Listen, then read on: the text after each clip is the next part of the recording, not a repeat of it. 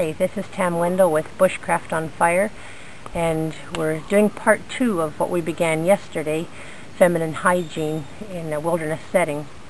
Dave Canterbury of Wilderness Outfitters did an awesome video on field sanitation. Actually, if you haven't watched it, you should probably stop watching this YouTube and go over and watch that one first. Sanitation is very important when you're living in the great outdoors. I shared a little yesterday on the usage of the yucca root as a soap substitute and we shared two different products for a woman to use during her regular monthly cycle but much was left out in that short introduction. So without further ado, let's keep on learning this together.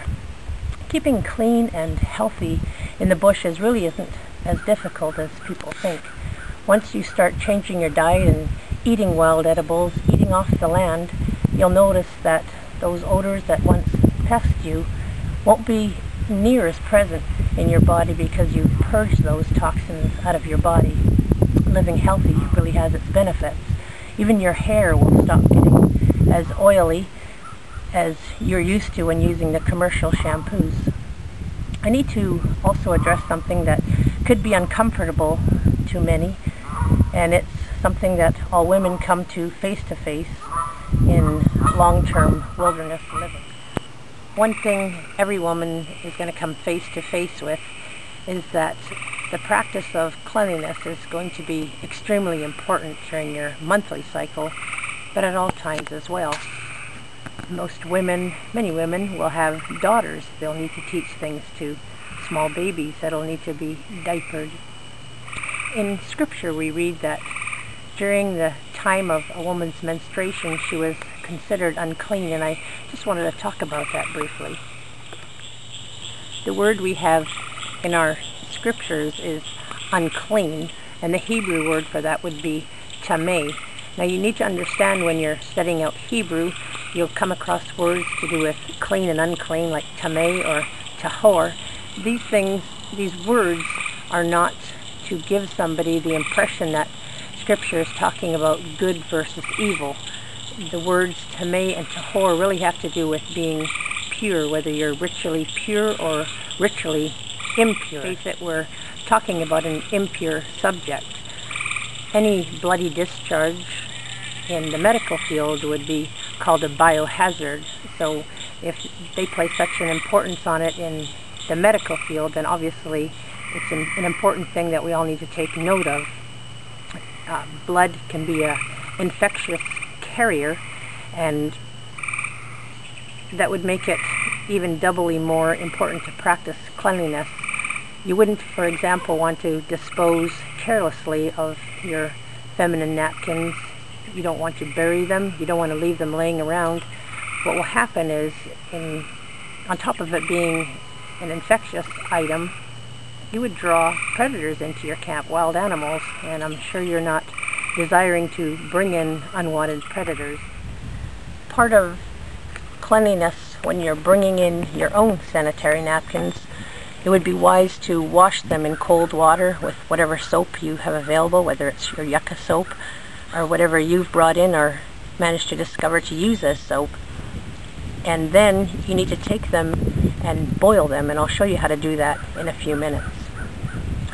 Um, one of the viewers, LOC, thanks a lot, sent me a few links to do with sphagnum moss. And I'll be sharing those links with you. It's very interesting to study up on this moss and I'll be working with diligence to try to see if I can find it in this area and be able to share more with you about it. It's so important that all women are prepared in the case of survival. So I urge all you women to consider what you would use, what you would bring with you in your bug out bag. You can bring your own sanitary napkins or as we shared yesterday the Keeper by Diva.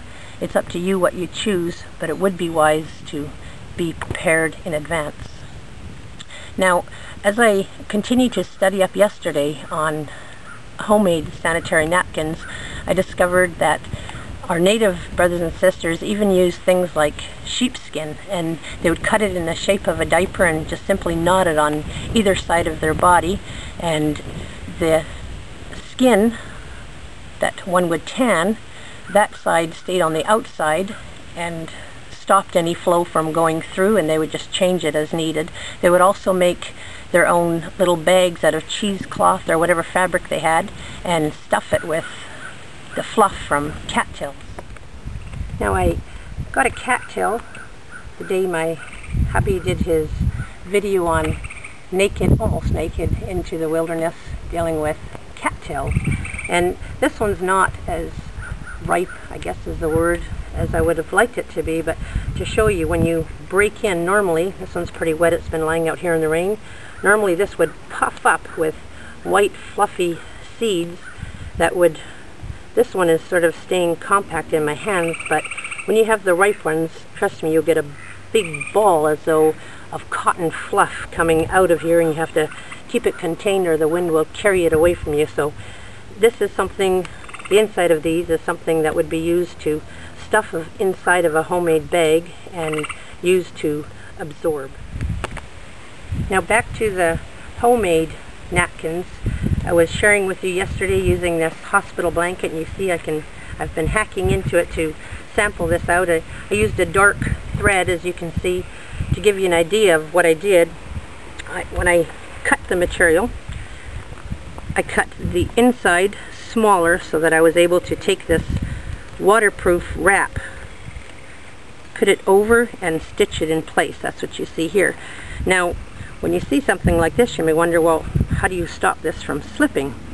Well either you make it long and as I studied it said women would use a leather belt around their waist and simply tuck it in front and back or I made another one and all you re really do is you take the napkin that you're comfortable with you lay it onto this fabric trace it out and cut out your shape and you can put velcro or snap and simply attach that into your panty so it's just another way of making a homemade sanitary napkin now, you may be wondering how you're going to hang out your laundry while you're out there. How will you hang up your sanitary napkin? So I went into the woods and I cut me a little, just a little stick. I made a slit on this side.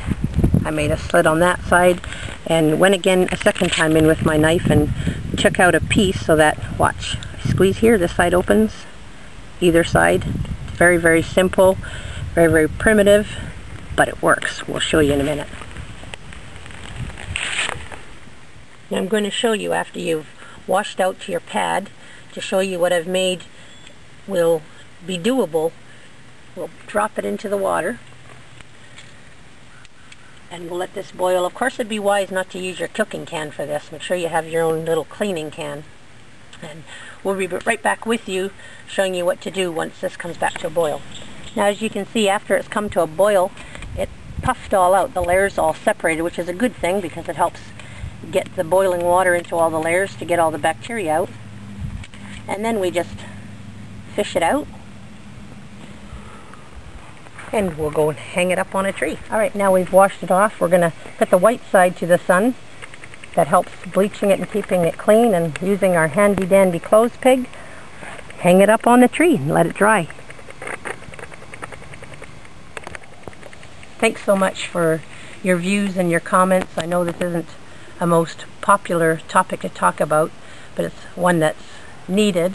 And thank you to all of you who have written me private emails and as well as the comments and ratings on the videos. Really appreciate your support. I'm Tam Wendell with Bushcraft on Fire, thanking you and hoping to see you soon on another video.